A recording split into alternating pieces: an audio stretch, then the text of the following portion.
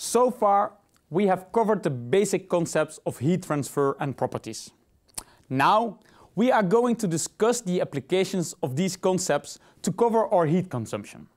As shown in the first graph, the supply of heat represents nearly half of the world's energy demand. Oil, coal and gas account for more than two-thirds of this demand.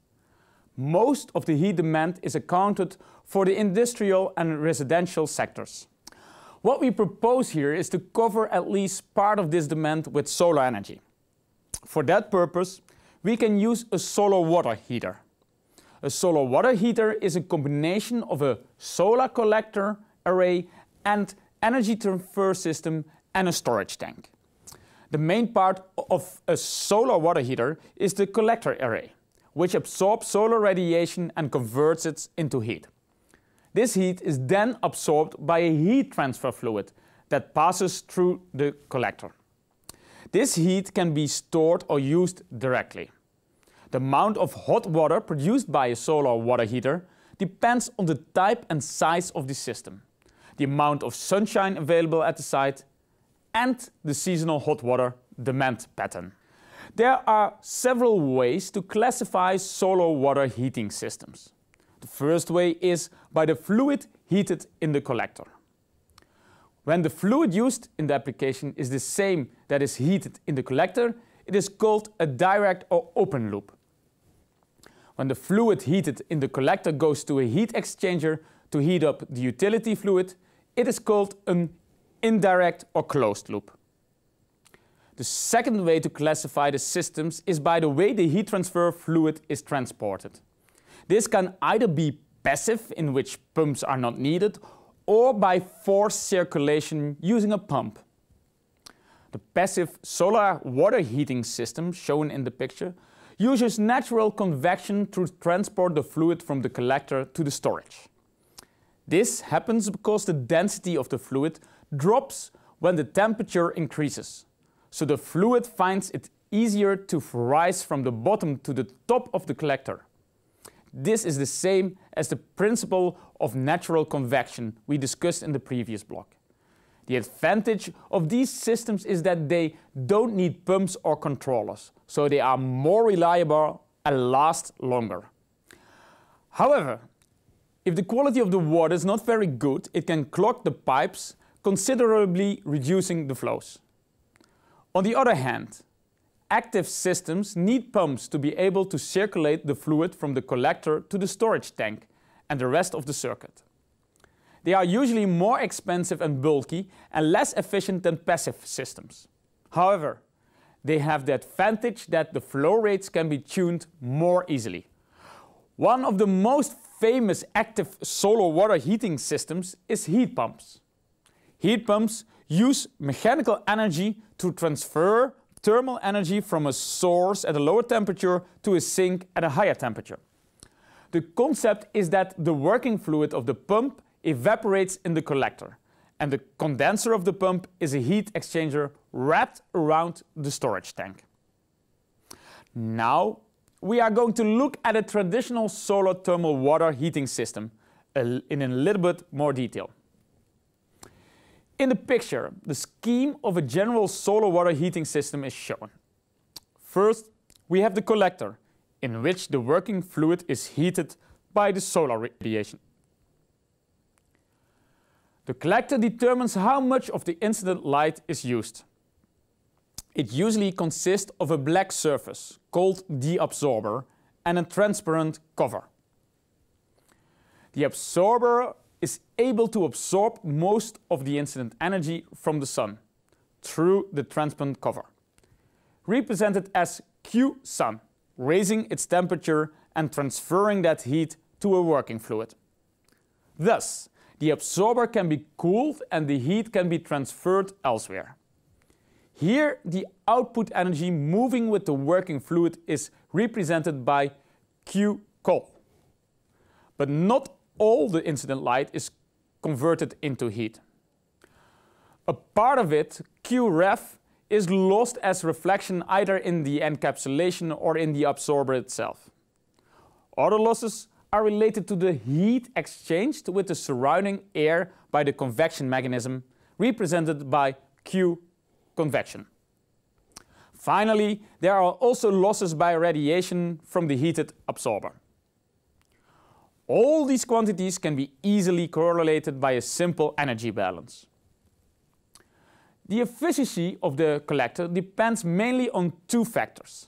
The extent to which the sunlight is converted into heat by the absorber and the heat losses to the surroundings. It will therefore depend on the weather conditions and the characteristics of the collector itself. To reduce losses, insulation from the surroundings is important, especially when the temperatures are high. Collectors can be classified in three categories, uncovered, covered and vacuum. Uncovered collectors don't have a transparent cover, so the sun strikes directly in the absorber surface, avoiding a good fraction of the reflection losses. It is used only for small differences in temperature with respect to ambient temperature, such as the ones in swimming pools. Covered collectors, on the other hand, are covered by a transparent material, providing extra insulation but also increasing reflection losses. These collectors are used for temperatures of 100 degrees Celsius. Finally, in vacuum collectors, the absorber is encapsulated in a vacuum space. In that case, little heat is lost to the surroundings. The manufacturing process of these collectors is more complicated and expensive, but the collector can be used for relatively high temperature applications since the convection losses to the surroundings are considerably lower than for the other types. Other way to classify collectors is by their shape. In that case, we can consider flat plate collectors and concentrating collectors. Flat plate collectors, as indicated by the name, consist of flat absorbers oriented towards the sun. They can deliver moderate temperatures around 100 degrees Celsius. They use both direct and diffused solar radiation, so they don't require tracking systems. The main applications are solar water heating, building heating air conditioning and industrial processes heat. The other shape that collectors can adopt is in the form of concentrating collectors. These collectors are for applications that need temperatures higher than those possible with flat plate collectors.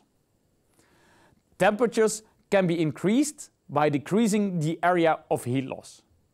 This is done by interposing an optical device between the source of radiation and the energy absorbing surface.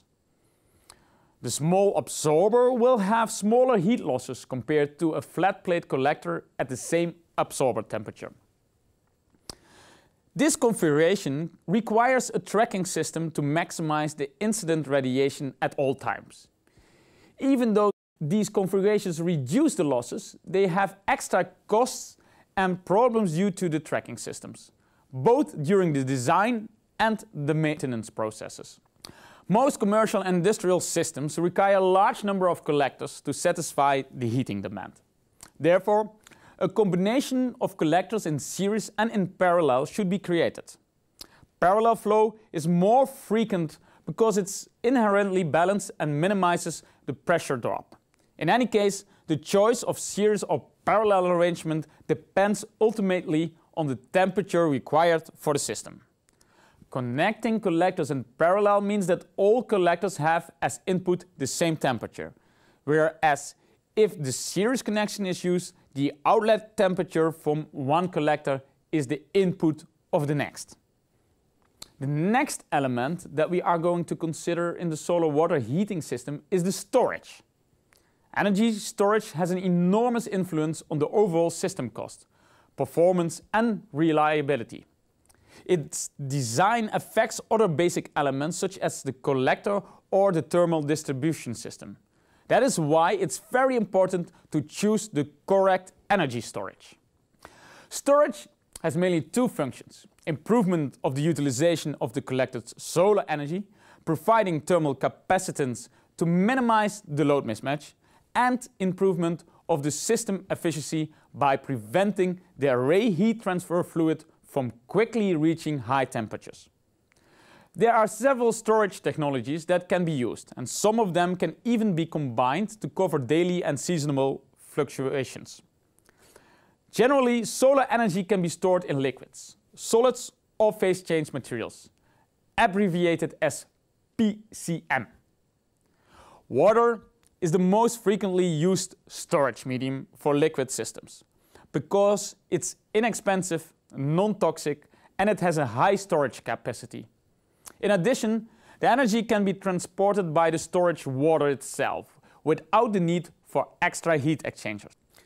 The usual energy stored in a water tank can be calculated with the formula shown where V is the volume in the tank, rho is the density of the water in the tank, Cp is the specific heat capacity of the fluid, and delta T is the temperature range of operation. The temperature range for operation is limited at the lower extreme for most applications by the requirements of the process. The upper limit may be determined by the process, the vapor pressure of the liquid or the heat loss. The heat loss of the tank, Q loss, can be determined by the following expression where A is the outside area of the tank and U is the global heat exchange coefficient. The value of U gives the quality of the insulation and usually varies between 2 and 10 watts per Kelvin. This U is also a function of the different media between which the heat exchange takes place.